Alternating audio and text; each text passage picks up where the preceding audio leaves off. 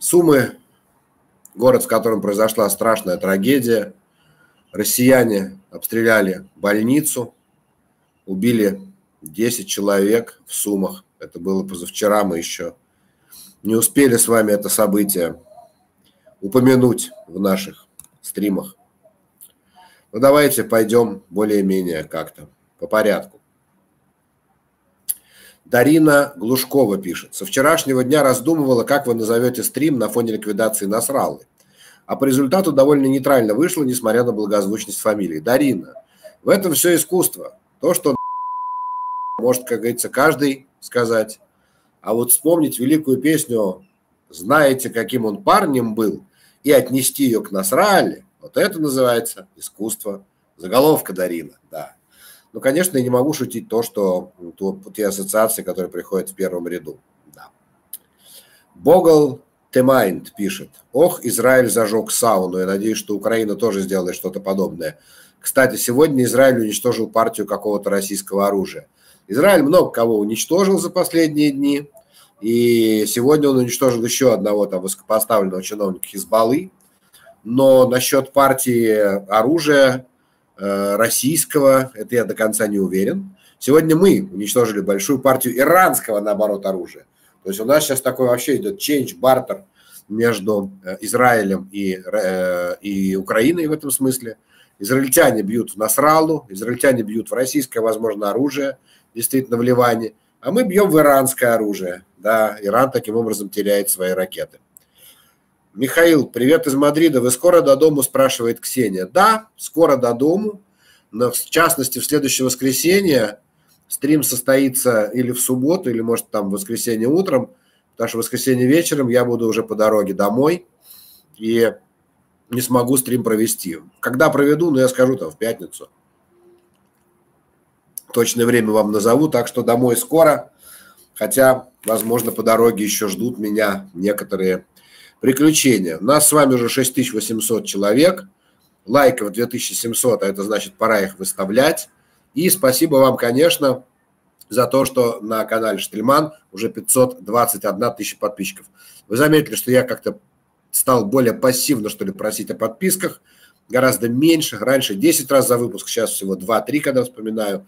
Потому что, кажется, я уже как начал почивать на лаврах. Мне кажется, что миллион подписчиков никуда не уйдет, а это ж не так сами, сами миллион подписчиков не соберутся. Поэтому присоединяйтесь, дорогие друзья. Присоединяйся, кто может, присоединяйся, кто может. А, хотел я начать, пожалуй, вот с чего. С такой неожиданной даже мини-новости, казалось бы. Казалось бы, незначительной, но мне кажется очень символичной, потому что она впитывает в себя все остальное. Один из телеграм-каналов распространил видео, ну, вернее, распространили многие телеграм-каналы, я увидел на одном.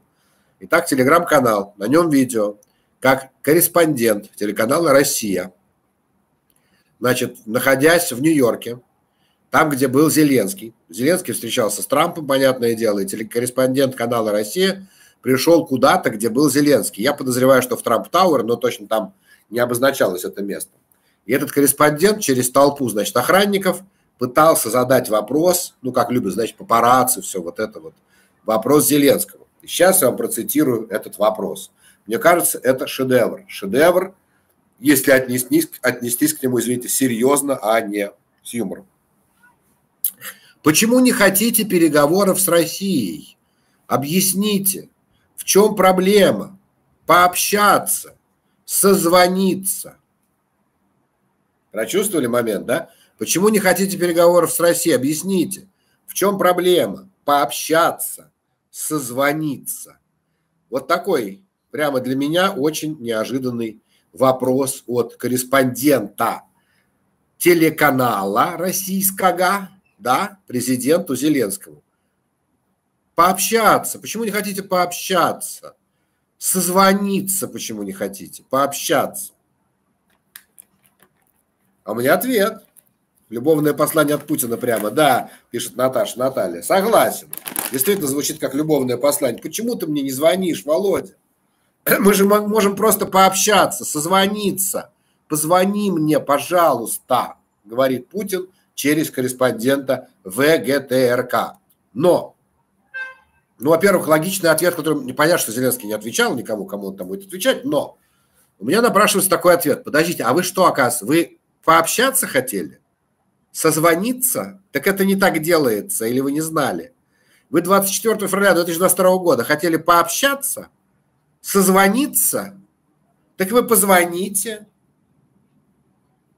Ну, позвонили бы 22 февраля, ну, 24 февраля 22 года, же могли по пообщаться. Хотели пообщаться?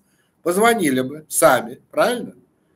И сказали бы, что вам надо, что хотите-то. ну, представьте себе, ну, если бы мирно, да, понятно, что уже 8 лет шла война, Крым, Донбасс. Ну, вот представьте, 24 февраля ночью, 4.30 утра, не начинают они войну, а звонят.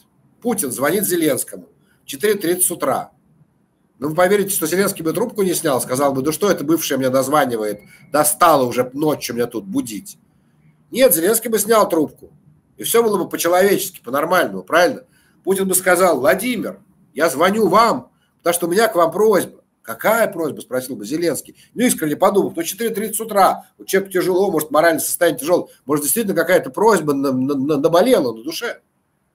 И Путин бы сказал, Володя, Володя, я прошу тебя, я хочу, чтобы ты демилитаризировался, я хочу, чтобы ты денацифицировался, я хочу Херсонскую область еще, хочу Запорожскую, я хочу, шубу хочу новую, хочу, Крым хочу, Донбасс хочу. Да, хочу, чтобы наркоманов разогнали в Киеве, хочу. Хочу, чтобы у вас русский язык был государственным, хочу. Машину новую хочу. Ну, хотя бы колеса, чтобы ты меня поменял бы. И что там еще хочу, я сейчас не вспомню-то. Ну, вот пример. А чтоб ты в НАТО не вступал. Не вступай в НАТО, Володя. И понимаете, Зеленский бы просто ответил, нет, нет, нет, нет. И на все бы ответил нет, и повесил бы трубку. И что, все? Не надо было воевать, да? Не надо было воевать, так получается? Ерунда, правда, абсурд. Ну, конечно, абсурд. Так а что тогда сейчас россияне лезут с этим? А что, вы не можете пообщаться, созвониться? Раньше надо было созваниваться. Раньше надо было созваниваться. Теперь рано или поздно эта война закончится только уничтожением государства Российской Федерации. Не будет такого государства, не будет такой страны. Будет что-то другое, а этого не будет. И это Россия не оставила шансов на другое. Россия не оставила шансов. Вы хотели созвониться, вы могли это сделать. А теперь кто с вами будет общаться? Зачем? Нам с вами о чем общаться? Вы убили 10 мирных людей в Сумах в госпитале. Нам с вами вот это обсудить или что? Пообщаться, созвониться. Вы сегодня ночью сбросили 8 кабов на Запорожье, 16 раненых. Нам с вами об этом пообщаться, созвониться. Ну, вы скажите, о чем? Михаил, вы заболели? Да, ну такое, как вам сказать, акклиматизация тут у меня такая тяжелой форме почему-то, да, произошла. Ну, бывает. А ведь это правда, Путин не может простить Украине того, что она его бросила. Не, ну, слушайте, так он ведет себя как бывшая. Ну, представьте себе, бывшая вам это, не знаю, у вас под окном в машине порезала колеса, правильно? Чтобы привлечь внимание, чтобы хоть как-то да позвонил. Ведь многие же так, правильно? Но вы знаете, вот у бывших много приемов, чтобы привлечь внимание бывшего. Ну, когда он уже ушел, все никак не это самое. Но ведь есть один распространенный такой крайний прием. Наверное, э, кто психологией интересовался, тот знает. Это, кстати, сейчас все, что я говорю, не относится никак ни к какому, так сказать, половому вопросу. Тут джендерное равенство полное, потому что бывшие мужики брошенные ведут себя точно так же, как брошенные женщины те, кто неосознанные, не все, люди по-разному, некоторые остаются нормально. Но брошенные мужчины тоже начинают там брошенным женщинам, там, не знаю, это, двери говном э, мазать и так далее, поэтому хватает. Названивать вот по ночам бесконечно, поэтому тут безгендерно относительно все, что я говорю. Я всех бывших простил заранее, пишет Саня Бакланов. Саня, ну вот то, что вы пишете, это и есть как бы на самом-то деле. Что значит простил? Что значит простил? Если бывший вас бросил, потому что вы ей больше не нравитесь, ну, всякое бывает, да? Совсем всякое бывало. То почему ее нужно прощать или не прощать? Ну, ей не нравитесь. Вы не обязаны всем нравиться, она не обязана вас любить бесконечно. А если вы что-то не так сделали, почему должны прощать? Это что же, вот это оно и есть. Простил заранее. Бракоразводный процесс глобального масштаба с мордобоем и разделом имущества, пишет скептик. Добрый вечер, Михаил. Сегодня день города Мелитополь. Ему 240 лет. Поздравьте, пожалуйста, мелитопольцев. Ждем возвращения в любимый город Мелитопольца, Украина назавжди, пишет Светлана. Светлана, во-первых, поздравляю вас лично с днем вашего города, действительно, Мелитополя. Во-вторых, поздравляю тех, кто мечтает туда вернуться. И в-третьих, поздравляю тех украинцев, кто еще до сих пор находится в Мелитополе и нас смотрит. Таких все меньше, потому что все, кто нас смотрел, уже постепенно оттуда почти выехали. Ну, почти все выехали, но не все. Я знаю, что там нас смотрят прямо сейчас. Я знаю, что, к сожалению, две трети населения Мелитополя – это русские оккупанты,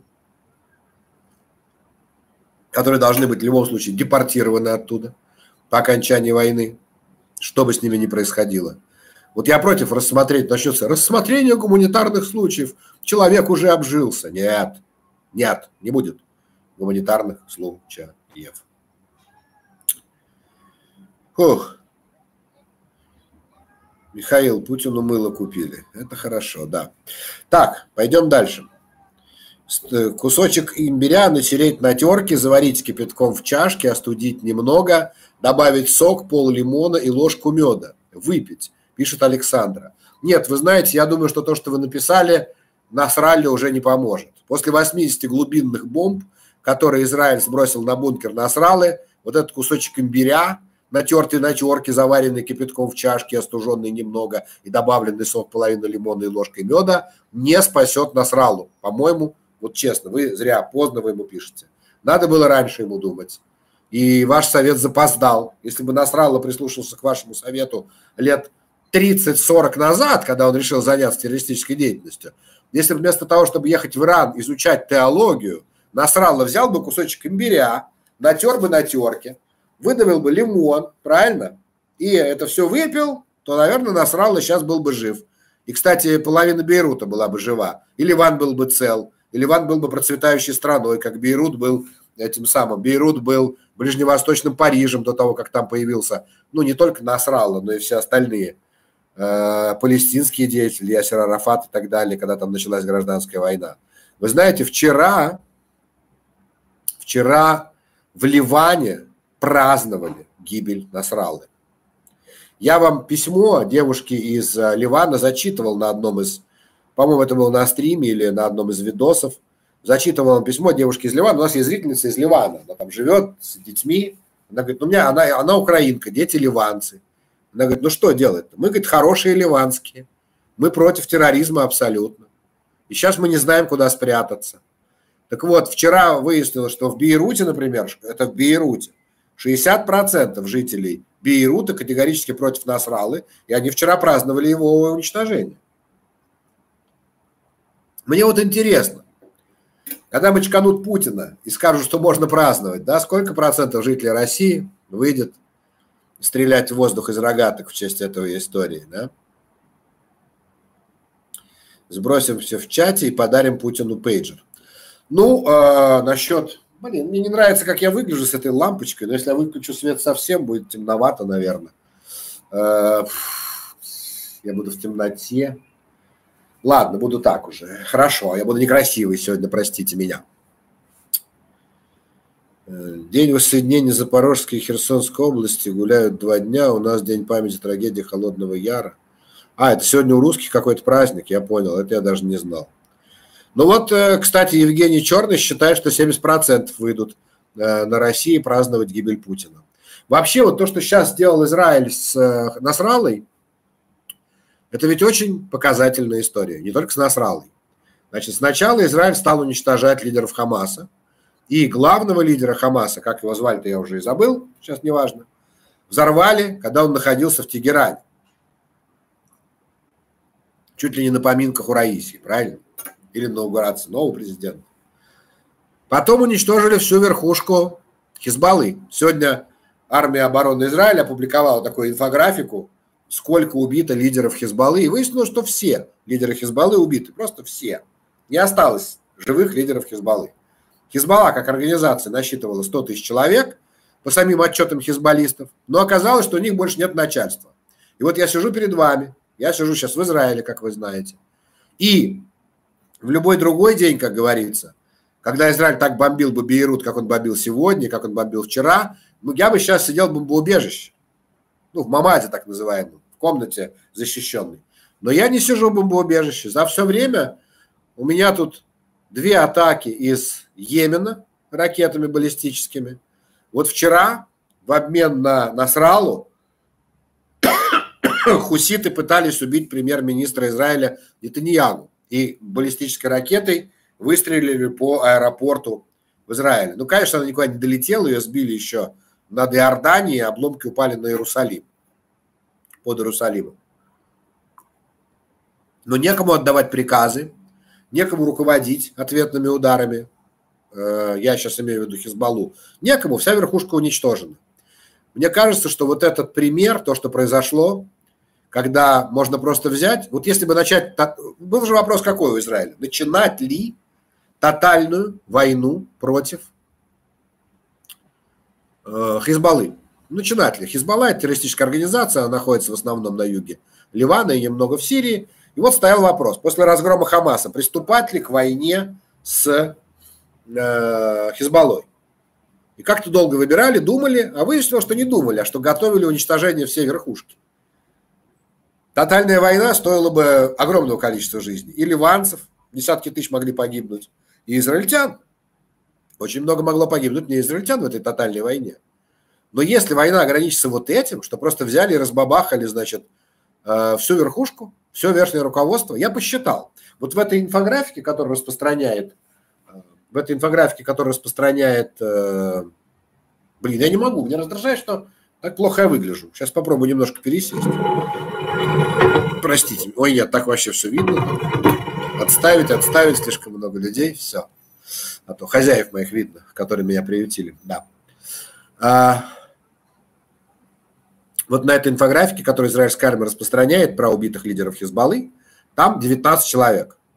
Я подумал, вот я всегда говорил, что главных зачинщиков войны со стороны России, их буквально 20 человек. Это их просто очень, их не надо искать где-то, вычислять, не нужно просить фонд борьбы с коррупцией составить список, а потом часть отмазать. Нет, не нужно. Берем просто вот кто входит в Совет Безопасности России на 24 февраля 2022 года. То есть кто единогласно признал так называемую независимость ЛНР, ДНР. И мы увидим список людей, конкретных людей. И там будет Путин, Медведев, Патрушев, Нарышкин, Матвиенко, э, кто там еще будет, Лавров, этот э, Собянин, кто там еще у них, на, на это, как ее зовут-то, Набиулина, член Совета Безопасности, э, Силуанов, министр э, экономики, ну и там еще человек 10 наберется, я просто остальных фамилий не помню, Бортников, директор ФСБ, Шойгу, естественно. Это Совет Безопасности Российской Федерации. Вот теперь представьте себе, что точечно также уничтожаются только они глубинными бомбами. Каким бы то ни было способом, но в один день. И тут же что изменится? Да, сегодня против нас воюет Россия. Сегодня против нас воюют 100 миллионов жителей России. 100 миллионов воюют против нас. Они делают снаряды, танки, они кормят солдат, они подвозят их куда-то, понимаете, на поездах, да, они делают бензин. Но я думаю, что если уничтожить вот эту топ-20 одним ударом Чапаевским, причем можно же прямо во время заседания Совета Безопасности, вот тоже 80 бомбочек и все как то никто не будет отвечать. Некому будет принимать решения про какие-то ядерные удары. А кто будет принимать решения? Все вот эти которые по тюрьмам там сидят за коррупцию. Генералы Поповы? Ну, серьезно. Кто будет принимать решения? Зам Лаврова по фамилии Рябков будет принимать решение? Кто? Помощник Медведева будет принимать решение уничтожить землю ядерным ударом? Поэтому мне кажется, что точечная ликвидация вот этих всех людей, ну понятно, что Украина своими силами сейчас не может, но в целом это просто остановило бы кра... самую кровавую войну 21 века. Вот такое простое решение. Да, да, да. Фу. Так Насралла был в штабе бункере? Да-да-да, Насралла был в штабе бункере, конечно. Слушайте, он был на глубине, но сейчас там разные сведения поступают, никто же точно не сообщит вам. Но пока все, что тут вот в Израиле удалось узнать, ну, из прессы, и, понятно, из открытых источников, что штаб Насралы был на глубине от 60 до 80 метров. То есть это так-то десятиэтажный дом, да? Нет, двадцатиэтажный дом, что я говорю. Глубина залегания метро в Киеве такая, по-моему, да? Ну вот сейчас я посмотрю. Самая глубокая станция метро в бывшем СССР. Глубина станции метро Арсенальная. Это была самая глубокая станция метро в Советском Союзе. 105 метров. Но это самая глубокая, там два эскалатора. То есть он был как в метро, считайте. В Тегеране было метро, но ездить на нем мог только Насралла. Не в Тегеране, что я говорю, в Бейруте. В Бейруте было метро, но ездить на нем мог только Насралла. И вот докатался он на метро. Его разбомбили именно там. 80 глубинных бомб. 80. Противобункерных. Хорошо. Хочу вам еще про одни бомбы очень интересные рассказать. Э, это в Киеве, да, это в Киеве такая история. Вам привет от энергодарцев из Киева, пишет Андрей. Да, вот тоже еще один город, куда надо возвращаться нам. И куда людям надо возвращаться. Энергодар, город атомщиков украинских. Разоренный россиянами город, уничтоженный россиянами город. Сейчас про другой удар расскажу вам. Про другой удар. Слушайте. Значит, сегодня ночью, как вы уже знаете, наверное, хотя, может быть, для некоторых это будет новость, потому что первым ее сообщил э, Невзоров сегодня ночью, и я сомневался, в каком смысле сомневался, потому что все это было в телеграм-канале Невзорова, а больше нигде не было, ну просто нигде. И вот буквально за пару часов до нашей с вами встречи Генштаб украинский подтвердил, что Невзоров прав. И мне сразу вспомнилась одна фраза. Первыми о разрешении бить вглубь России узнают россияне, сказал пресс-секретарь Зеленского вчера. И что мы получили? Первое, то, что уже подтверждено Генштабом. Поражение арсенала оружия с иранскими ракетами в Волгоградской области. Котлубань. Хорошее место Котлубанью не назовут, как понятно.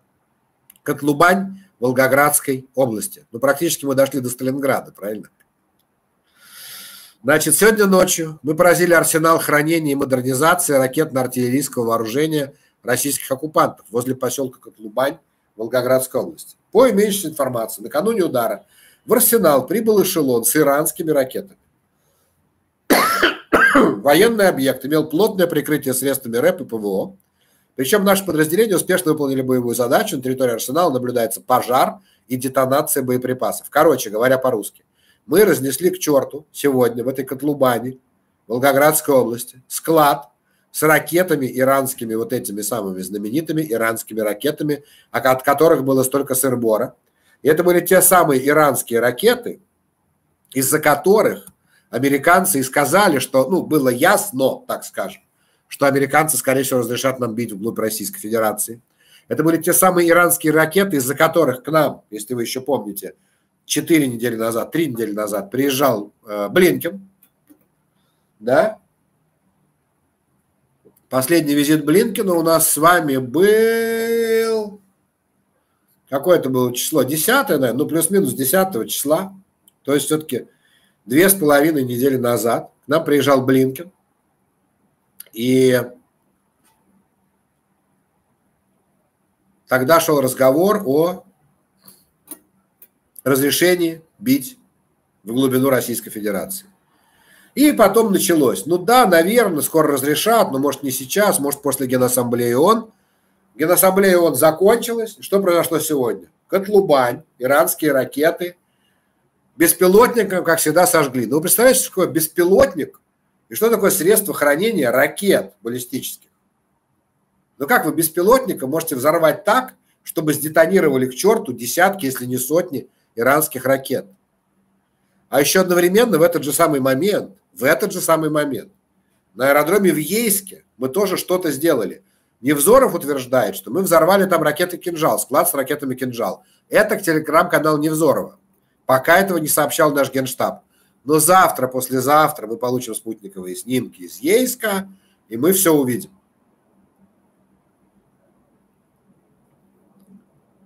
Понимаете? И вот вопрос у меня возникает. А это точно беспилотники?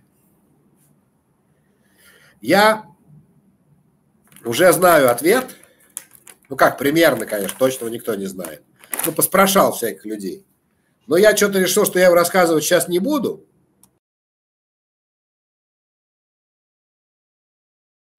Ну, просто зачем дразнить гусей? Но я вам по-другому скажу, по-другому это сформулирую. Я понял сегодня одну важную вещь. Совместил А и Б вместе. И что я понял? Вот Путин поменял в четверг ядерную доктрину.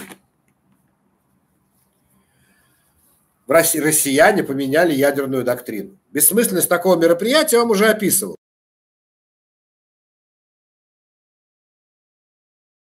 Ну, типа, зачем менять ядерную доктрину, если все равно все решает один человек? Но я понял, это был асимметричный ответ. Смотрите. Значит, э, казалось бы, американцы ушли думать, разрешать ли нам бить по территории России. И пресса западная вдруг, она сначала писала, да все, решение уже принято. Песков говорил, решение уже принято. И все сказали, да решение уже принято. Решение принято уже все точно. Нам точно все разрешили. Ну все это, СМИ, Bloomberg, там, Wall Street Journal, все сказали. А сейчас вся та же самая пресса пишет, ну, сейчас все сомневаются, наверное, после выборов сразу разрешат, немедленно, скорее всего, ай-яй-яй. А в это время мы наносим абсолютно смертоносные удары по российским ракетным складам. Сначала в Твери, потом, вот сейчас, ну, кстати, был еще отдельный удар в Краснодарском крае, сейчас удар Волгоградской области, и расстояние, на котором мы наносим эти удары, это сотни километров, это дальше, чем атакам сбьет. И вот сейчас мы с вами должны поверить, развесить уши и поверить, что просто нам повезло. Что повезло, что беспилотник, который россияне прощелкали клювом, прилетел и как-то влетел в помещение с ракетами, и там все взорвал, и оно все сдетонировало. И так четыре раза, понимаете? И тут он наступил на грабли, и так 18 раз. В это поверить я не готов. Сдается мне, что все-таки нам все уже давно разрешили, но не обычным способом. То есть американцы нашли некую лазейку. Ведь американцы каждый раз формулируют как? Они не говорят, мы не разрешаем, мы запрещаем. Они говорят, наша политика не изменилась. Разрешить бить-то можно разными способами понятие вглубь России можно рассматривать по-разному. Да что уж там, честно вам скажу. Только между нами, никому не рассказывайте. Понятие американское оружие тоже понятие растяжимое. А если мы его купили в Кении, это оружие, если кенийцы его запаковывали, помните, может быть, был фильм «Парни со стволами»?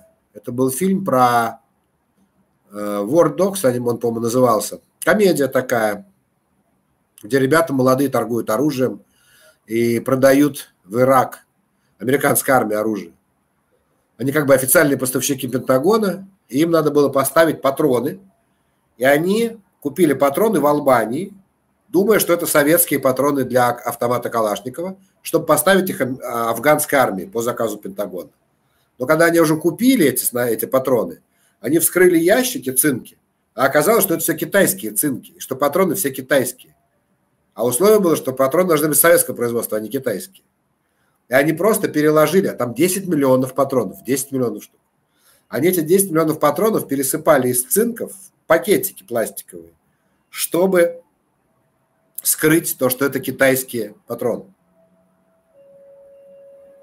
Так вот, с точки зрения legal, легальной, то есть с точки зрения юридической, возможно, то, чем мы стреляли сегодня по вот этим складам ракет, не являлось американским оружием. Вот и простой ответ, понимаете?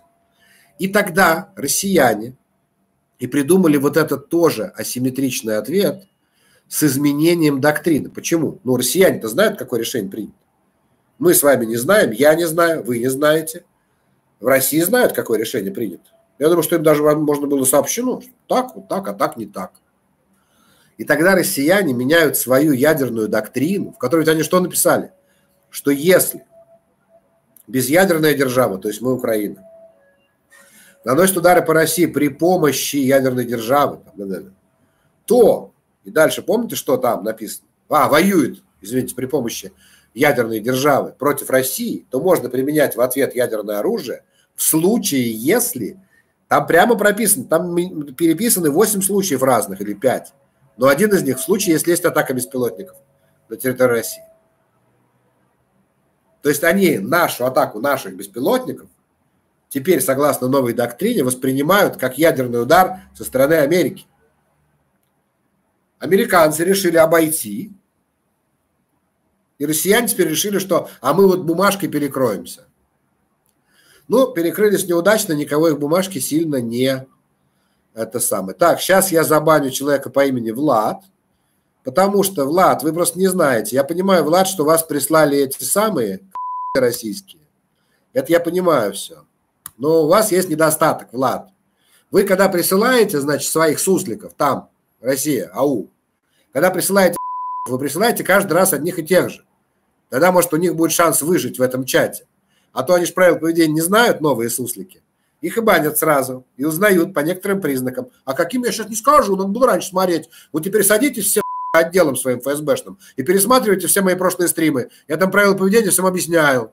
А Влад вас повел себя не по правилам поведения. Эх, все пишут про то, что Бабий Яр сегодня день скорби. Что правда, конечно, конечно. Но вы знаете, еврейский народ выжил, и выжил после Бабьего Яра и выжил, и сегодня еврейский народ построил себе государство, Израиль, и построил себе государство, которое много раз пытались уничтожить соседи, и построил самую сильную армию в регионе, по крайней мере.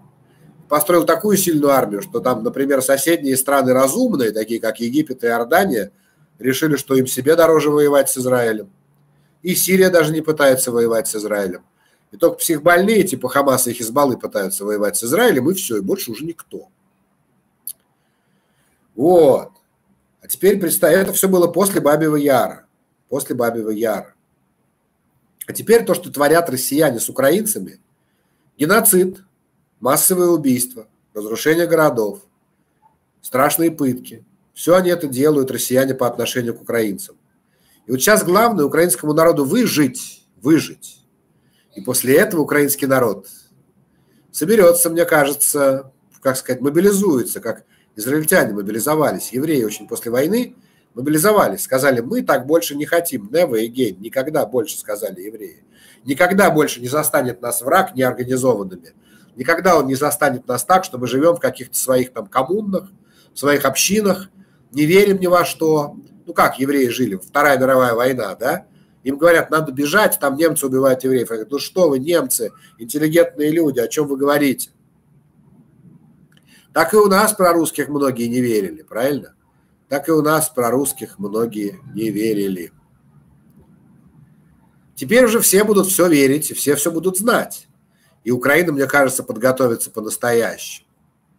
Украина создаст самую сильную армию в регионе, а для этого есть все. У нас теперь есть и лучшие инженеры, и лучшие разработки – и миллионы мужчин, прошедших фронт, которые не захотят уже жить по-другому, которые скажут, нет, нет, мы хотим их в хвост и в гриву всегда, иметь возможность это в любой ситуации. Вот мне хочется, чтобы Россия, когда развалится, чтобы она развалилась на 80 государств, которые откажутся воевать с кем-либо когда-либо, поняв, получив по мордас. И останется там 3-4 мелких там страны, какой-нибудь там, не знаю уж каких, в России, какая-нибудь Тува, который скажет, а мы будем все равно воинственным племенем будем воевать. И вот мы их будем каждый день, как Хамас и Хизбалла, что-нибудь такое, понимаете? Ну или Москва, там, не знаю. Вот останется Москва, которая будет кричать, а я хочу воевать, я хочу воевать.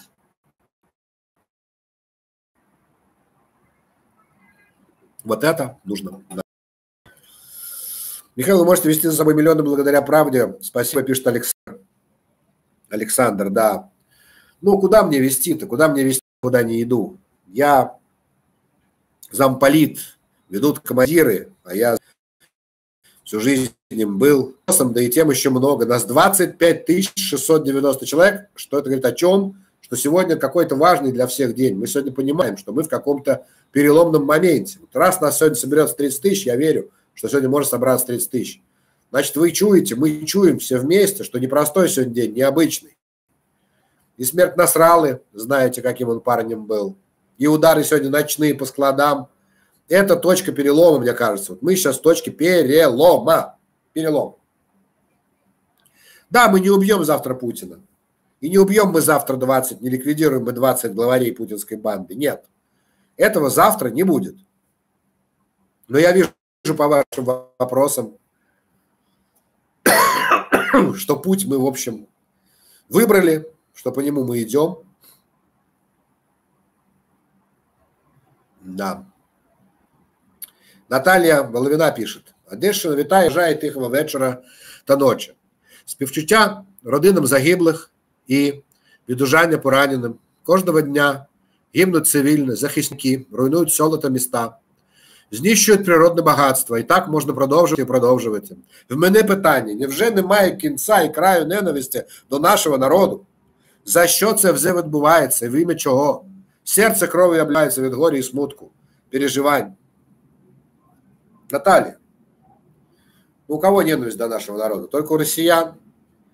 У них ее тоже в каком-то смысле разожгли. Тоже.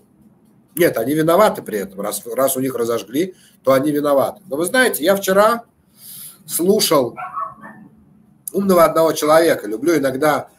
Сейчас я в поездке, поэтому очень мало удается мне послушать других людей, видео. Я послушал Антона Долина. У него спросили в интервью, он в Грузии, Антон Долин кинокритик. Выступает в Грузии. Простите, что я так скажу, выскажусь громко, что ли. Вот Антон Долин, человек, который из России немедленно с начала войны, просто в первый же день уехал с семьей из Российской Федерации, несмотря на то, что был, как говорится, хорошо устроен в России, да, но сказал, нет, я готов ни в каком виде с этим примиряться. И вот его видео, я слушаю его речь, они все более глубокие становятся. Ну, человек очень много думает, он написал книгу, которая называется «Плохие русские». «Плохие русские».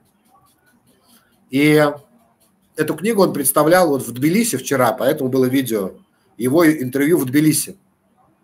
Ему задают вопрос, корреспондент. Мне кажется, что сейчас Антон Долин как-то постепенно, постепенно, вытесняя остальных, он молодой человек, ему 43, по-моему, года, я точно не знаю. И вот мне кажется, он становится как бы главным интеллектуалом русской иммиграции, что ли. Он уже больше не кинокритик, он больше, он стал, он вырос из себя как из кинокритика. У меня такое ощущение. И вот меня спрашивают, говорит, а вот скажите, вот Путин там то, Путин все, Путин пятый, Путин десятый.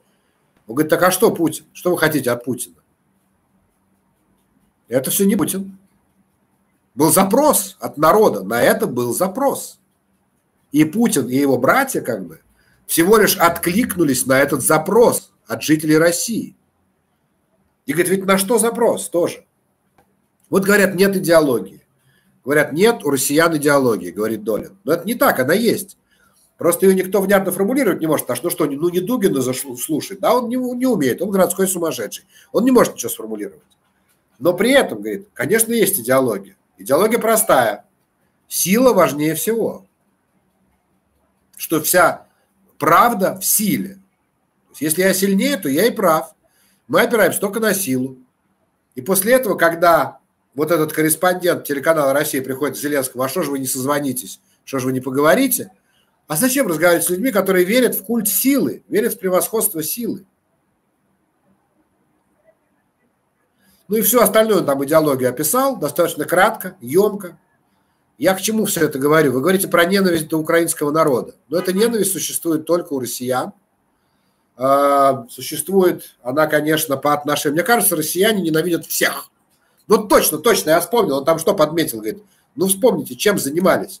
Занимались принижением всех остальных, всех, кто не русский. Говорит, вспомните, вот Club, типа как комики, типа они шутят. Но при этом Гарри Харламов, там, лидер Club, доверенное лицо Путина. И про что они шутят? Про то, что иноземцы плохие, ну, в смысле, кавказцы какие плохие. Они шутят над кавказцами, над таджиками, правильно? В нашей Раше издеваются. То есть абсолютное вот это вот издевательство над другими народами, любыми, у них все народы У них все народы все, все. Они ненавидят всех, не только украинцев. И второй, говорит, богатые все придурки. Они, можно шутить над богатыми, можно шутить над иноземцами. Больше ни над чем нельзя. Все, точка. Это все темы для юмора. Все. И так в России уже давно, уже больше 20 лет, что шутят над иностранцами. Иностранцы все причем, заметьте, в 90-е завидовали иностранцам, просто завидовали, он иностранец. Ей повезло, она вышла замуж за иностранца. Помните интердевочку, да? Выйти замуж за иностранца, это было высочайшее достижение. Мы на работу взяли иностранца. Они даже не говорили какого, правда, это я помню, да, сам. На работу взяли иностранца. У нас даже иностранец купил наше повидло. Вот преклонение перед иностранцами было в 90-е, а в 2000-е иностранцы все придурки. Все, мы крутые, иностранцы. Вот это был запрос. И на это откликнулся Путин. И Путин ответ на этот запрос. Да, РФ ненавидит всех. Именно, да, чужих. Всех чужих, все чужие. И дальше они разделились на две категории. Кстати, очень яркие. Вы знаете, вот, точно. Вот есть два таких наследственных военных. Один, который э, вел канал «Еще не Познер», помните, я не помню, как его звали, вы, наверное, видели, который с Ургантом кино снимал. Вот он Дудю давал интервью уже после Бучи. А он типа военное училище заканчивал и военным был. И у него спрашивает Дудь, слушай, говорит, ну после того, что в Буче русские сделали, русская ты изменил свое отношение к российским военным? Тот говорит, нет, и заплакал. Российские офицеры – самые лучшие люди в мире. А в это же время комик из Comedy Club он был, ну, из стендап-шоу, Белый такой его, фамилия Белый. Не помню, как зовут, с ним недавно Татьяна Лазарева брала интервью. Вот он уехал из России, потому что он отказался сотрудничать с этим всем. И он военный, он сам учился в военном училище, и отец у него, по-моему, тоже военный, если я не ошибаюсь, типа наследственный военный. Сказал, нет, российская армия это... Или вот, совсем уж такие персонажи, которые казались реально клоунами в какой-то момент, а оказались людьми, я вам скажу, просто вы говорите, все одинаковые. Вот был такой Полонский. Он был не Поклонская, которая Наталья Поклонская, а Полонский, по-моему, фамилия была, что ли. Он, Mirax Group, он построил башню Федерации, самое высокое здание в Российской Федерации. Строительный магнат, миллиардер, который пошутил как-то неудачно на этом самом на Лазурном берегу, что у кого нет миллиарда, пусть идут и потом над ним шутил Сурков на встрече с администрацией президента России, говорит, а вот смотрите, говорит, у меня нет миллиарда, мне идти или как? Спросил Сурков у Поклонского. Полонский, Роман Полонский, Полонский, не Поклонский. И вот Полонский, да, вы правы, спасибо, ННФ. Значит, Полонский, э, он выступал в Дубае, давал интервью в Дубае, пару-тройку интервью разных совершенно. И говорит, я считаю, что десантура облажалась. Ему говорит, подожди, говорит ему корреспондент, ну ты сейчас вот в душе поешь хотя бы в день десанта, там, песня, он десантник. Говорит, раньше я праздновал, сейчас нет.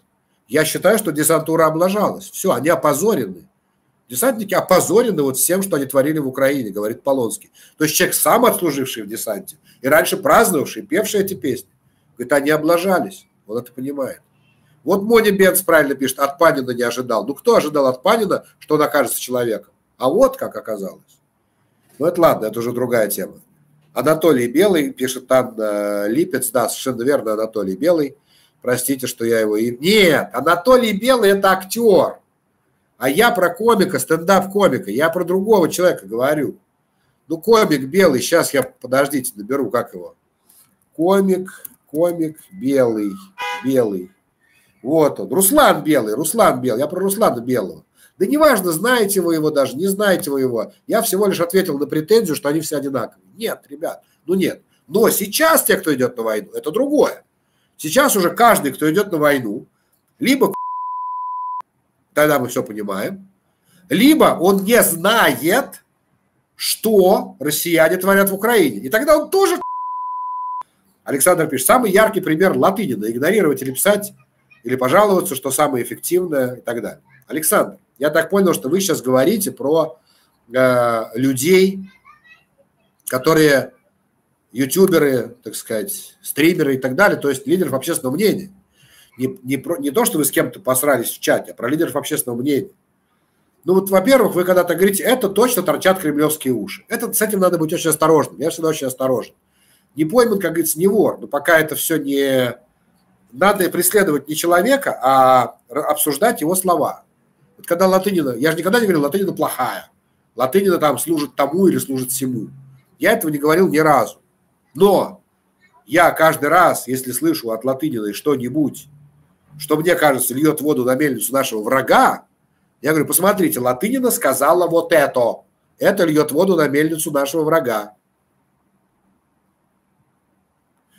Это, знаете, в одной книге про фашистов было такое, когда там два мальчика, близнецы они, по-моему, и им, а в Польше это происходит дело, они поляки, и им немецкий ефрейтор дал одеяло, чтобы они спать могли под одеялом.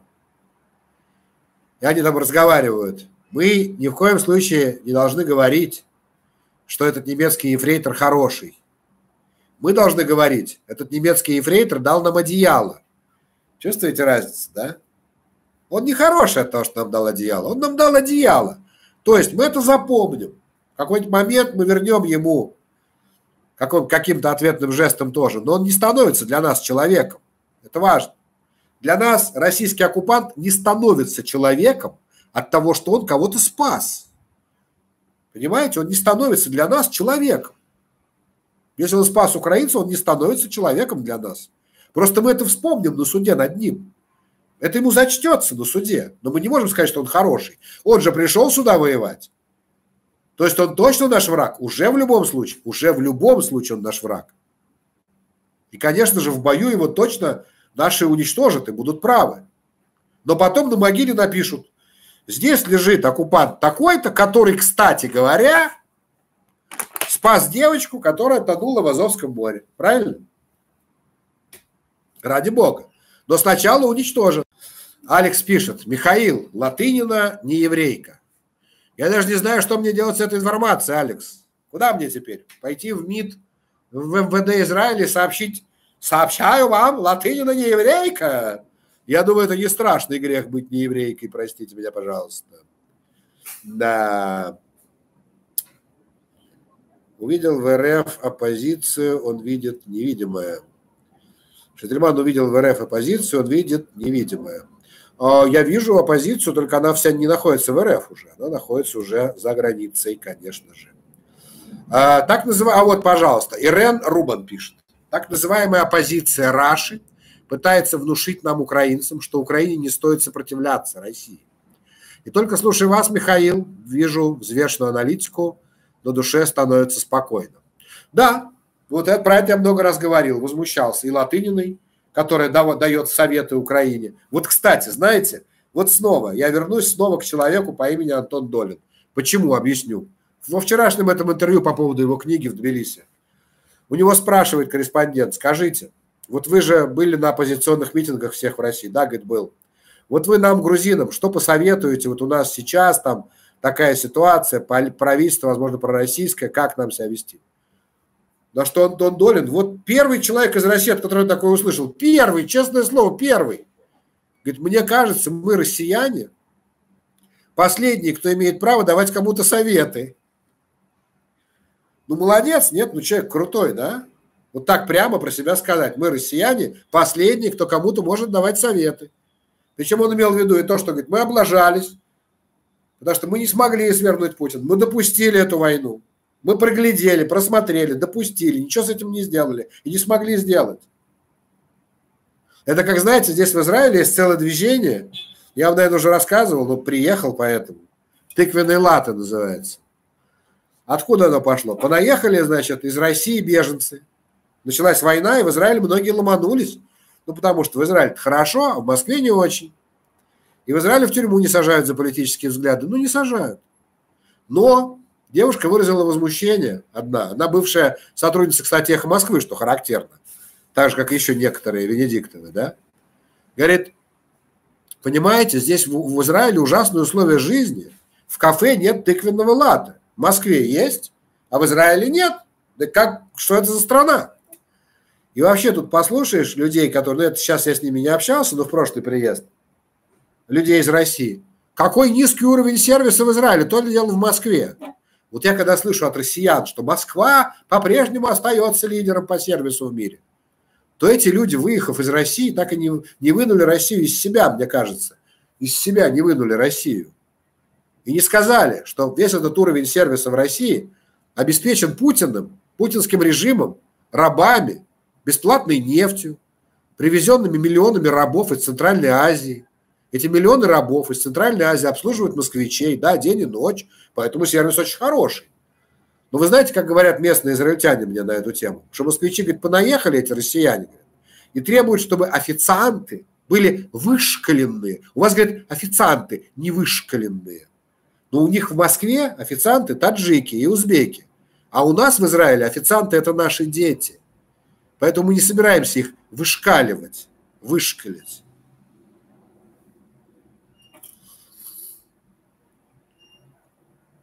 Вот такой вот тыквенный латы, так сказать, здесь получился. Но здесь с тех пор тыквенный латы слово вошло, так сказать, как притча во языцах. Назвали это тыквенная иммиграция, тех, кто приехал от, от Путина сбежав. Потому что приехали, они дают советы, как улучшить. Я, у меня есть идея, как улучшить Израиль. Слушайте, вот это я слушал одного стендап-комика, другого, кстати, тоже абсолютно антивоенного. Из Москвы человек приехал, дает интервью.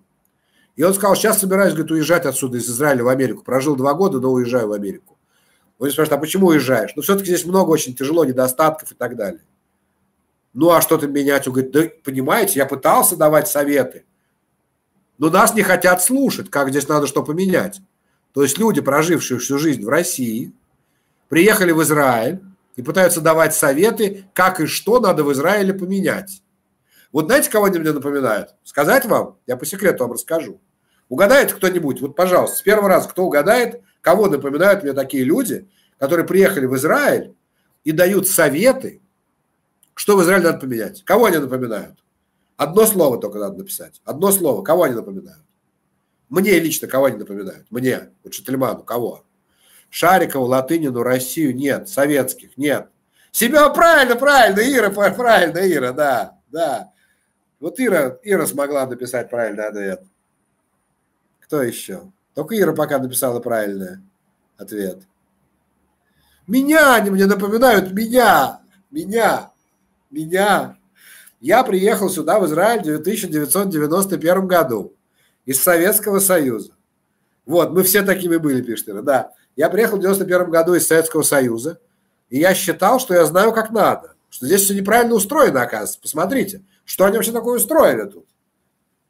Как они могут вот этим разрешать этой партии существовать? А даже против интересов страны, так. Ну, коммунист же, понимаете, коммунист. Или там какие статьи я писал в газетах, стыдно вспомнить, я здесь писал статьи в газетах. Стыдно вспомнить, потому что я писал как настоящий коммуняка. Я других-то способов управления страной не видел, не знал. Я не знал, что такое демократия. Да к армии я плохо относился. Я считал, что армия – это такие мародеры, убийцы там и так далее, в том смысле, что, ну, всяко там офицеры все тупые, всяко там дедовщина, а как еще, думал я. Не понимаю, что здесь армия просто вообще другая по определению. Еще спорил как Понимаете, спорил как Вот, поэтому это все напоминает мне меня, но у меня 33-летней давности. Вот так. Надо писать не тыквенные, а гарбузовые латы. Ну, так они скажут, что на иврите нет слова гарбузовый, вы же понимаете. И вообще скажут, что это здесь на иврите. Кстати, знаете, что подмечают мои местные друзья? Мои местные друзья все, в общем-то, приехали сюда тоже 35 лет назад. 34, 33, 35. Говорит, вот как интересно, мы когда приехали все, мы выучили иврит сразу, ну все реально. Я через там 3-4 месяца, 3-4, не помню, месяца учился в университете на иврите. Ну, потому что как надо было жить, правильно? А те, кто приехал из России два года, два с половиной года назад, из-за того, что война началась, из них меньше половины выучили иврит. Меньше половины. А остальные, ну как, это все должны по-русски же разговаривать, правильно, ради них? А? Ну а как еще? будем мы этот местный язычок, понимаешь, учить. Так, что еще мне тут? У нас уже почти 30 тысяч, 29,5 тысяч, лайков не хватает немножко. Ну и подписку я просил. Сейчас 521 тысяча. Раз уж я вспомнил, подпишитесь, пожалуйста, на канал Штельман. Идем дальше. В общем, про оппозицию ладно. Ладно, хватит, хватит, да. Пытаются нам советы давать. Да, так я хотел сказать, вот кто Пастухов нам все время рассказывал, как нам надо. Латынина рассказывала, как нам надо территорию отдавать. Как украинцам надо то отдать, все отдать. Ходорковский поначалу сказал пару советов, потом осекся и заткнулся, надо сказать. Больше таких советов не давал.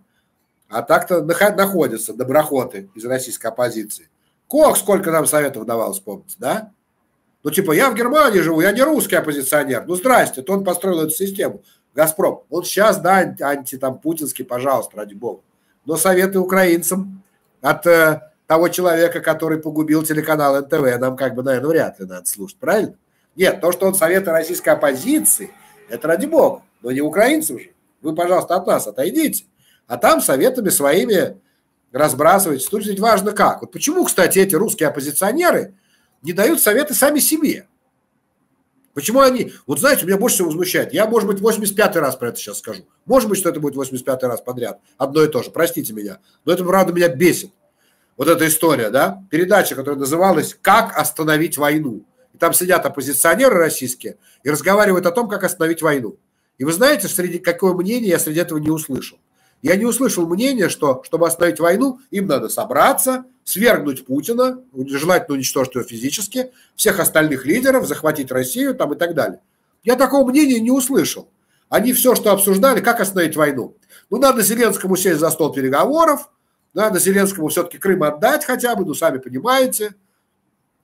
Как остановить войну? Вы русская оппозиция, вы кто? Как остановить войну? Они нам рассказывают. Мы сами без вас придумаем, как нам. Вы собой займитесь, своей страной, Россией. А то, ну, в Украине что же коррупция? Что? 29 739 человек. Попрошу сейчас всех, кто сейчас на стриме, оставаться хотя бы две минуты еще подряд, чтобы нас стало 30 тысяч. А я прочитаю вам еще некоторые ваши вопросы и ответы. Марія Хамікукі пише, пані Михайло, від початку війни вас ще більше побіліла борода. Дякую за вашу працю і завжди гарний настрій. Навіть коли бувають і негативні новини, вы завжди тримаетесь на плаву, чекаемо в Украине. Ну так, Мария, я, я всегда, когда какие бы новости не были, я не могу сказать, что у меня хорошее обязательно настроение, но оно у меня всегда боевое. Ну так это, извините, моя черта характера. Я всегда все невзгоды встречал, так сказать, в боевом настрое. Я могу, конечно, впасть в панику, дрожать от страха, кричать «все пропало», зарыться под одеялом, но займет у меня это 30 секунд. После чего я встану и скажу «так, а сделать мы с этим что можем? Что мы можем с этим сделать конкретно?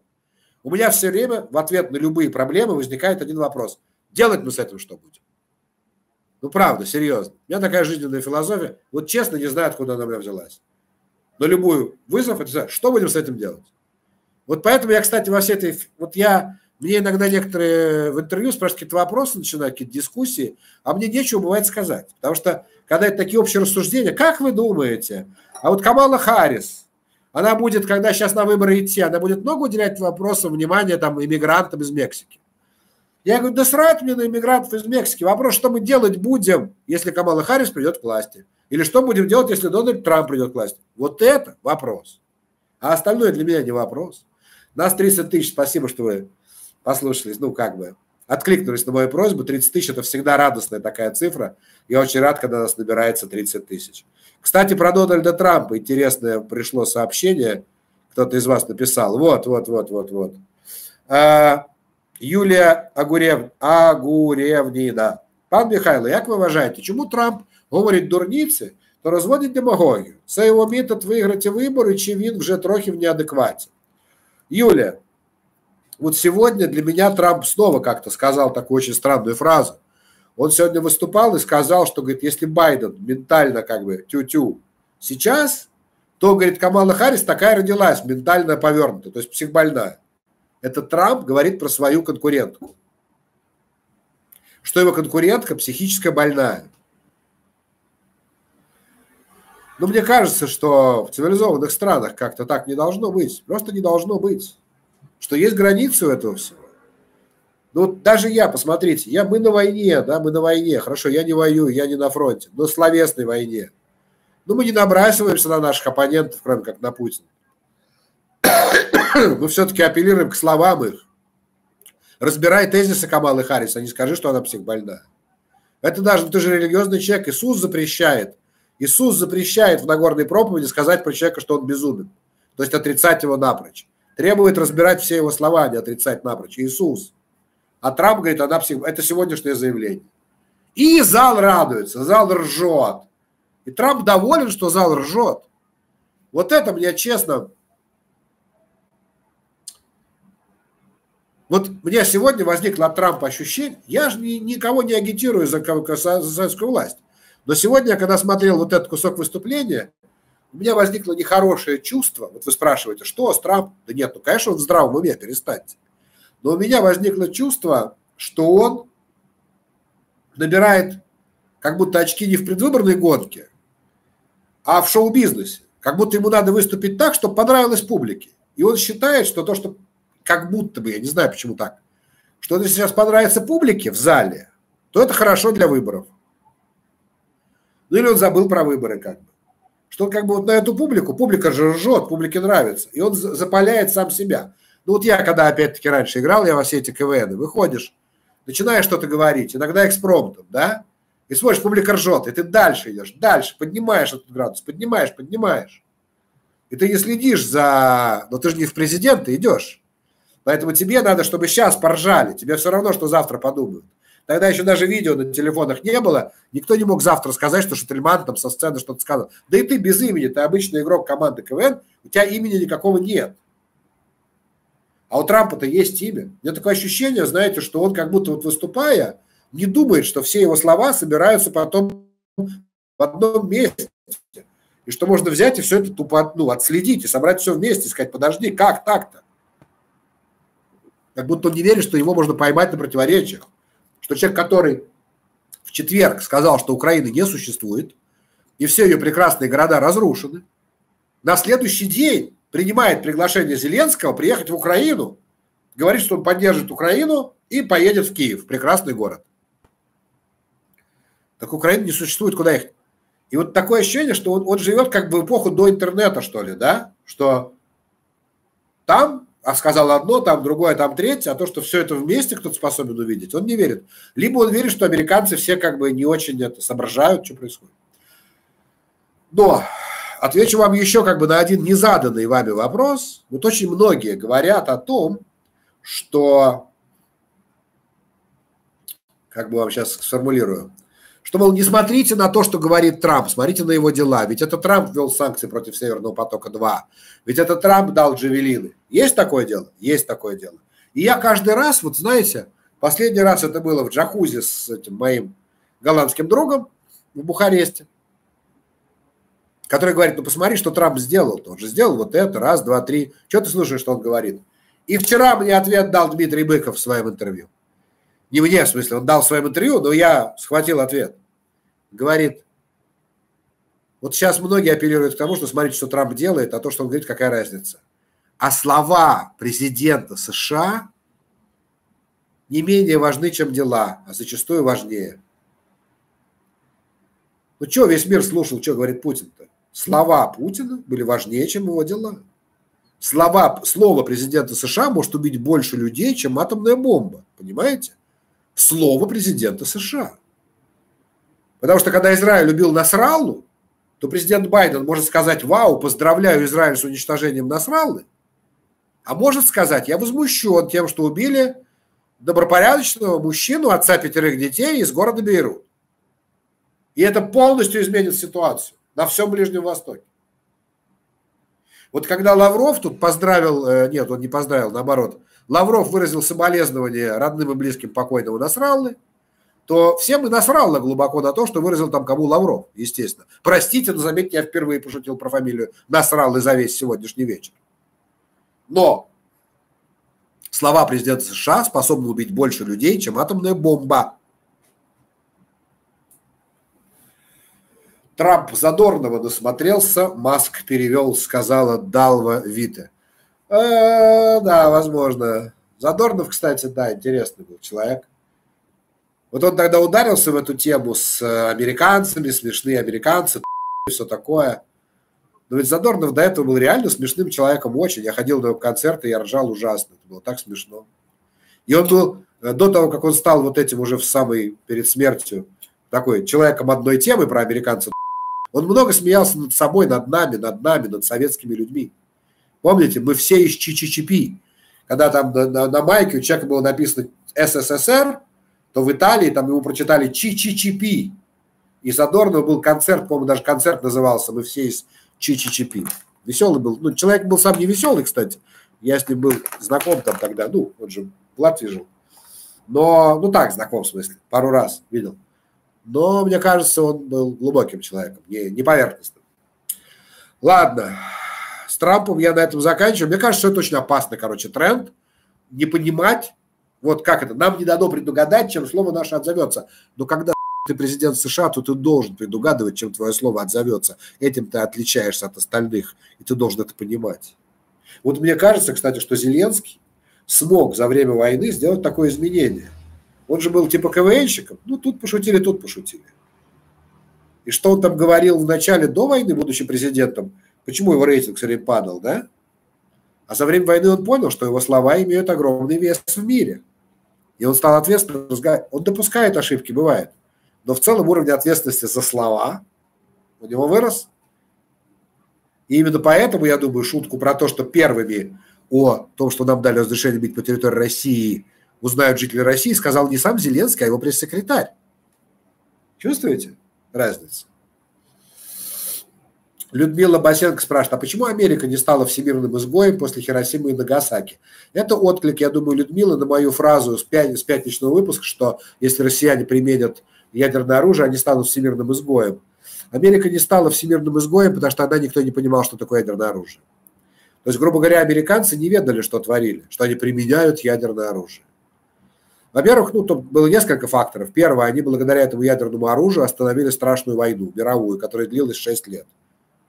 Остановили. Вот если сегодня Америка применит ядерное оружие против России, чтобы остановить войну, ну, представьте себе, Америка возьмет и ударит по, не знаю, Кремлю.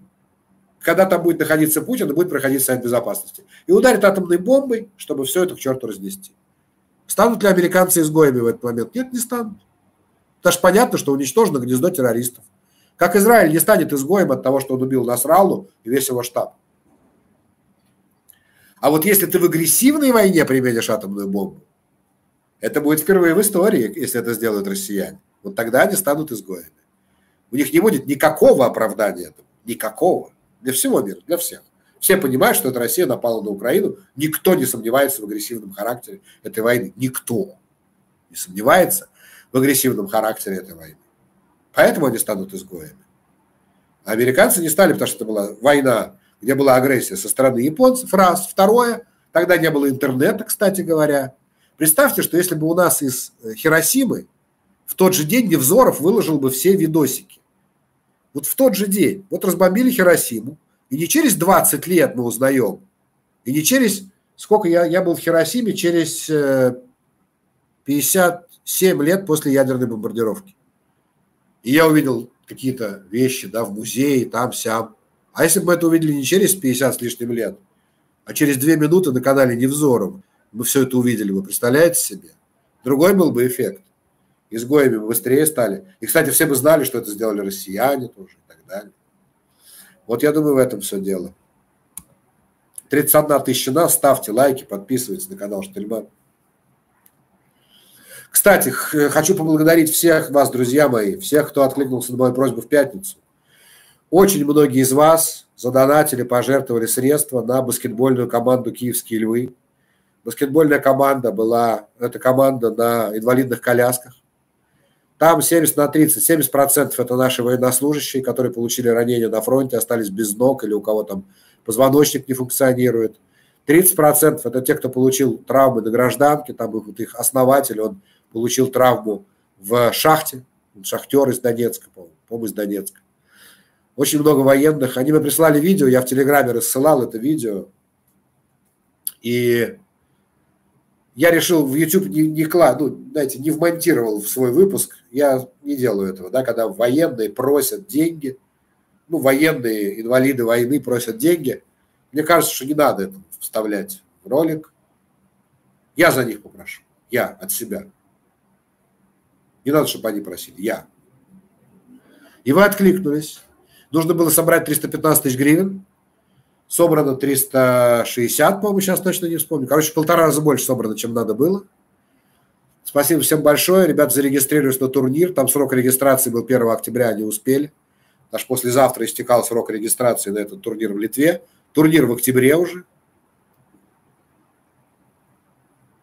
И я вас, конечно, буду держать в курсе. Спасибо вам. Ну, мне кажется, что э, мне кажется, что после того, как вы так требовали от меня говорить о Паралимпиаде, я имел право с такой просьбой к вам обратиться. Андрей Проскурин пишет, Зеленский стал не президентом Украины, а президентом демократии в мире. Ну, вы знаете, Андрей, отчасти я с вами согласен, но я скорее скажу лидер свободного мира. Есть такая формула лидер свободного мира.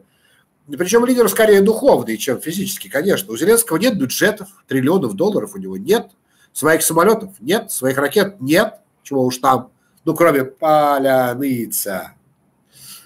Но э, в плане ценностей, да, он лидер свободного мира в плане ценностей. Это так, это так. Ну и, конечно, хотя я, ну, опять-таки, мы сейчас говорим Зеленский, подразумеваем украинский народ. Украинский народ лидер. Но пока в лице Зеленского. Завтра это будет другой президент, будет в лице другого президента. Мы, по-моему, не заморочены на том, чтобы у нас был один там какой-то человек. А, про Швейцарию э, Наверное, сегодня не буду рассказывать, завтра расскажу, лень время тратить. Там не так интересно, ну, вы знаете про саммит мира и так далее. Пойду лучше дальше по вашим тезисам, что я еще не осветил. Сейчас посмотрю. Что я еще пропустил? Есть у меня выписаны еще ваши вопросы. Один момент, один момент. Так. Вот, Марита Силиня пишет – ar nepacietību gaidām katru jūsu raidījumu. Uz jūsu teikto var paļauties. Paldies par jūsu дарбу, Марите и Мурис. Ну, как вы поняли, Мариты и Мурис. Мурис – это кот, а Марита – это сама наша зрительница. Вот так, с таким обращением ко мне выступила. Ну, кто не понял, чего уж там. Да, я думаю, вы все догадались. Игорь Сорочинский спрашивает. Хотел бы у вас спросить, есть ли у вас какая-то информация по бывшему министру иностранных дел Кулебе? Информации нет, но, но. Я вот сказал тогда вначале, что ну всяко сейчас э, Кулебу э, назначат каким-то послом куда-нибудь. Но с тех пор у меня возникли некоторые легкие сомнения, объясню почему. Потому что Зеленский, отвечая на какой-то вопрос, там, когда меняли этих министров, он сказал, что говорит, э, я не могу вам отвечать, на вопрос о том, где собираются трудоустраиваться бывшие министры.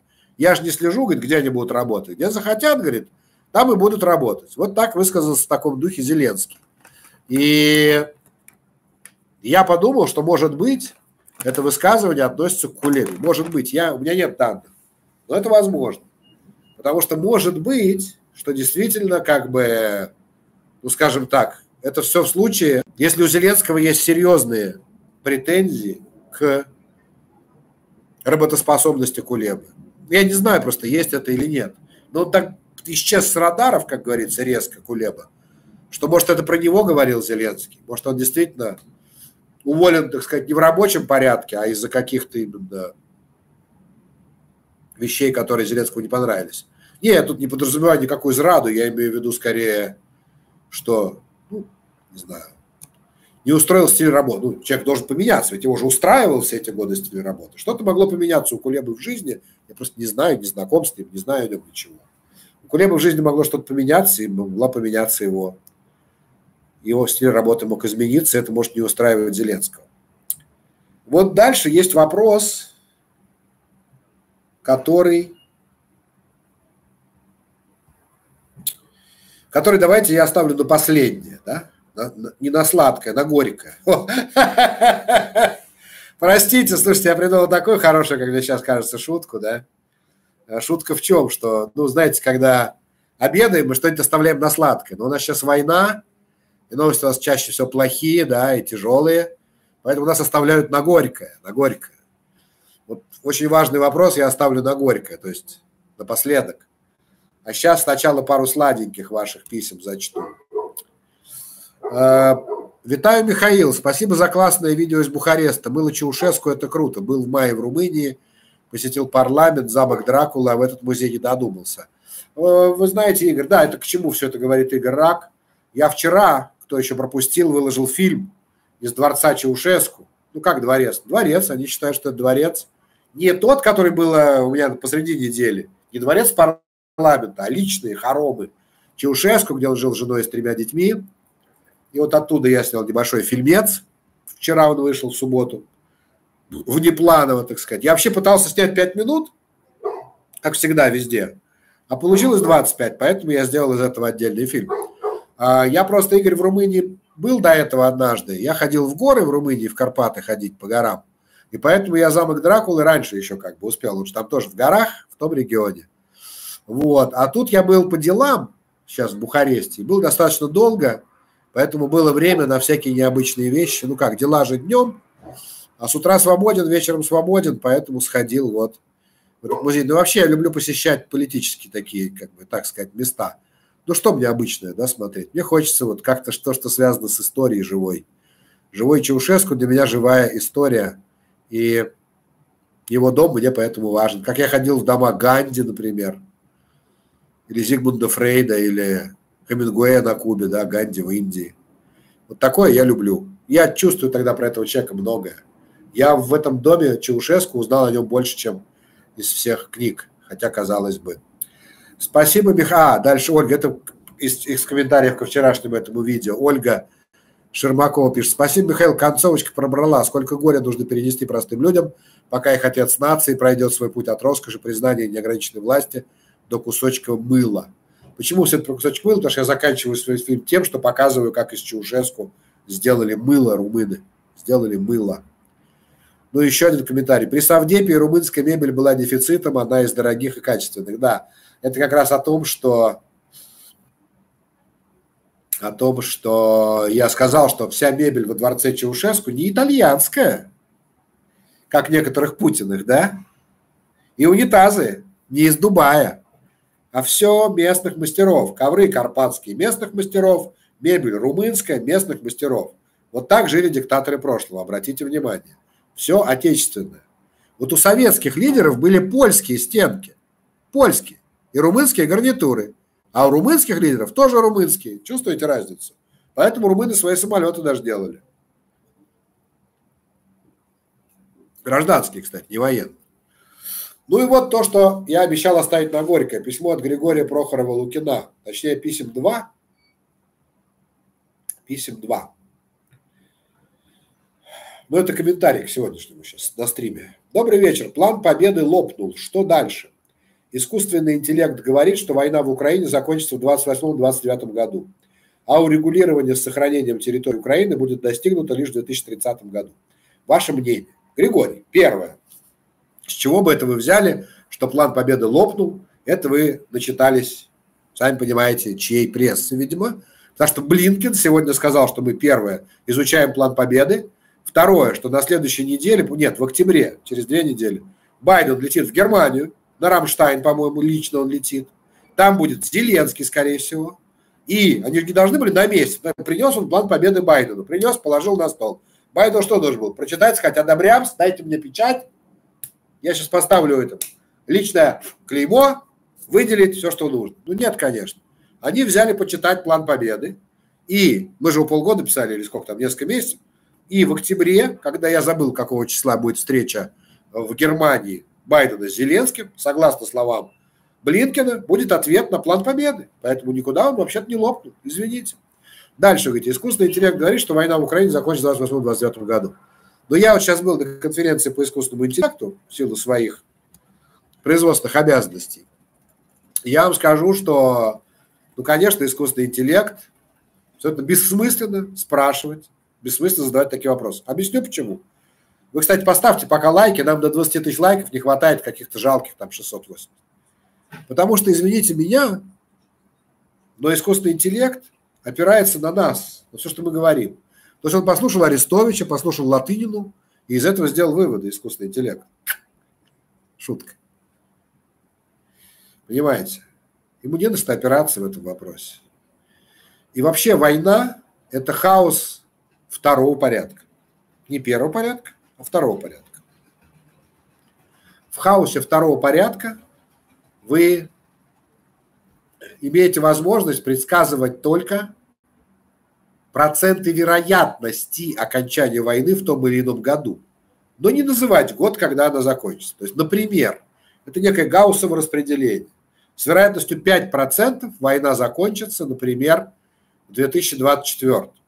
С вероятностью 18% в 2025. С вероятностью 22% в 2026. Ну, например, да, это распределение. А не война закончится в 28 Это не имеет смысла математического. В хаосе второго порядка это не имеет смысла. А вот в космосе имеет. То есть, когда у нас есть порядок, когда все молекулы движутся по определенным траекториям, мы можем вычислить их будущее местонахождение, вычислить. То есть мы могли бы использовать мощности вычислительные, мы бы все определили. Но не так. Хаос второго порядка чем отличается от хаоса первого порядка?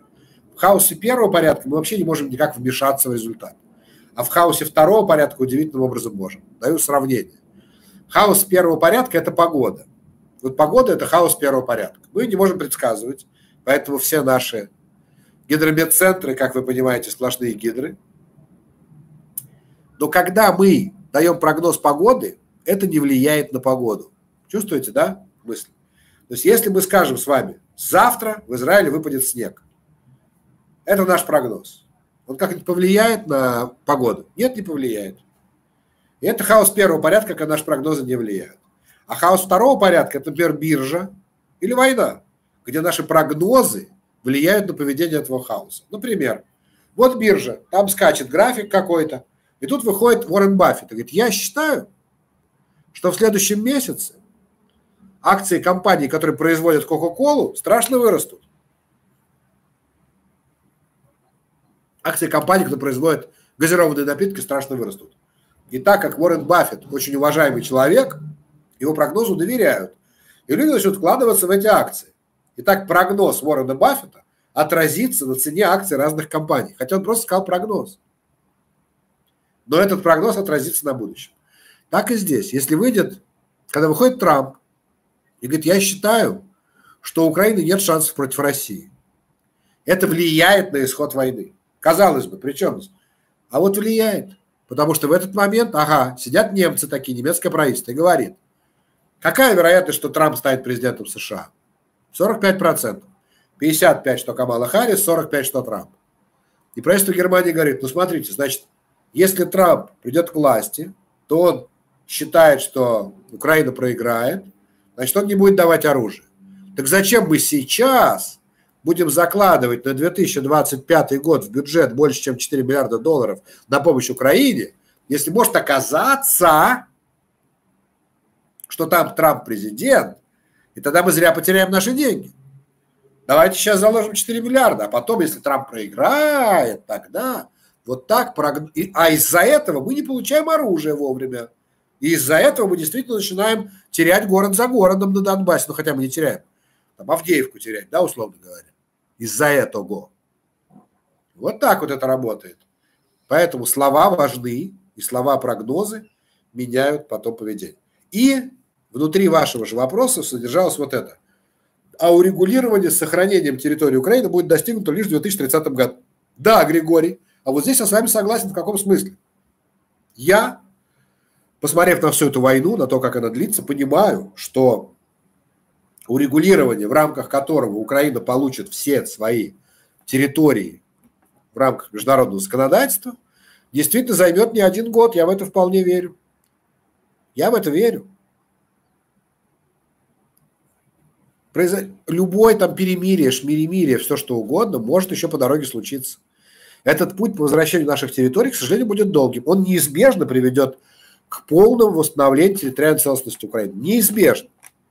Потому что если какие-нибудь там поганые швейцарцы заставят нас подписать какой-то поганый там договор о перемирии с русскими, то наши партизаны, наш ГУР продолжит уничтожать российских оккупантов в Крыму все равно.